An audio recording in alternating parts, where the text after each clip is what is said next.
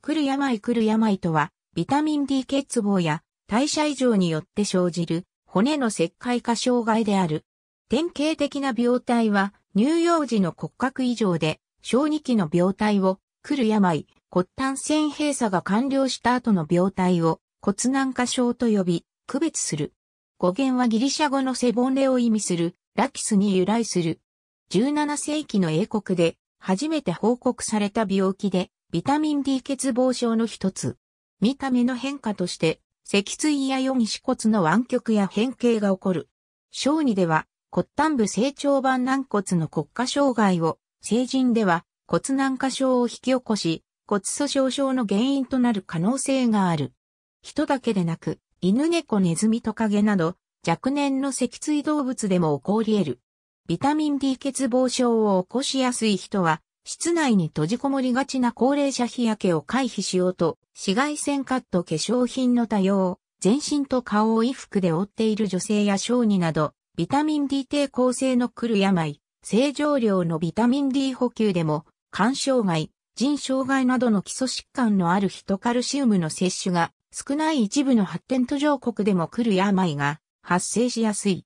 肌の色の濃い人が日射量が少ない高緯度地域に移住した場合、体内でのビタミン D 合成が減少して乳幼児に来る病がしばしば発生する。第二次世界大戦前の日本ではセムシとも呼ばれていたが、現代では差別用語として新たな使用は控えられることが多い。遺伝性、後天性、薬剤性に大別できる。ビタミン D 依存型来る病 I 型、2型、低リン血症性来る病がある。X 染色体異常による低リン血症小骨軟化症が最も多く遺伝性のファンコーニ症候群。遺伝性ビタミン D 依存性来る病が複数タイプ存在している。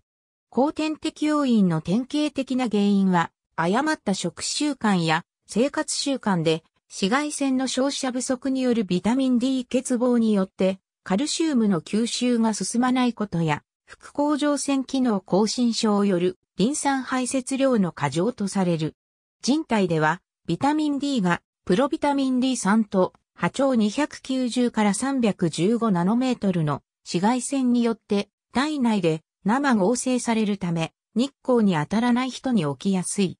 ビタミン D 整合性を参照食習慣カルシウム、またはリン酸の摂取不足代謝異常による吸収低下やリン酸排泄量の過剰、ビタミン D 効果への抵抗性、低質性体重時から 1000g 以下の低質性、体重時や 1500g 以下の極小未熟児においても頻発する。薬剤性日本では発生数が増加傾向である。